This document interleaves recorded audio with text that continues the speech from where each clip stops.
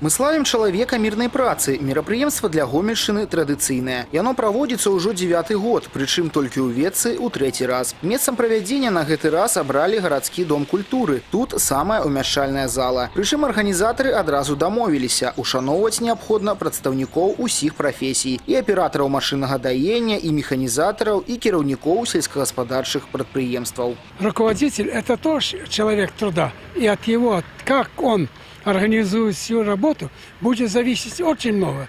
Он должен знать технологию. Это и воспитатель, организатор и так далее. И вот мы, если его еще раз поднимем, его значимость, он же, конечно, будет работать еще лучше. А это очень важно. Или мы приглашаем, тоже номинация есть э, кадры среднего звена. То есть это бригадиры, это слесаря, это начальники участков. Они же постоянно работают с людьми. Старшыня абласнога аддзялення беларускага фонду міру Тимофей Глушакоў у часы Савецкага Саюза узначальваў розныя раёны вобласці, а таму можа параўноўваць. Мы сталі жыць значна лепш. І дадае, неабходна радавацца дасягнутым поспехам і верыць ва ўласны патэнцыял. Сярод запрошаных на сцэну намеснік дырэктара аграфірмы імя Лебедзева Алеся Крывіцкая. У 2014-м яна атрымала дыплом беларускай дзяржаўнай сельскагаспадарчай акадэміі і вельмі жадае стаць высокапрафесійным спецыялістам.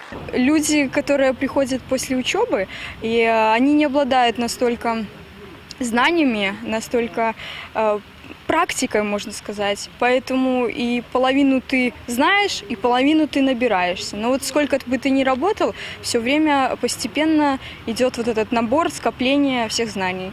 У гомельскім абласным аддзяленні беларускага фонду міру запэўніваюць, што акцыя мы славім чалавека мірнай працы будзе працягвацца і далей. Бо яе галоўная мэта ўзняць аўтарытэт працы і сказаць дзякуй усім, хто працуе сапраўды сумленна. Олег Сенцюроў, Дмітрый Котаў, Яўген Макеенка, тэлерадыёкампанія Гомель, Веткаўскі раён.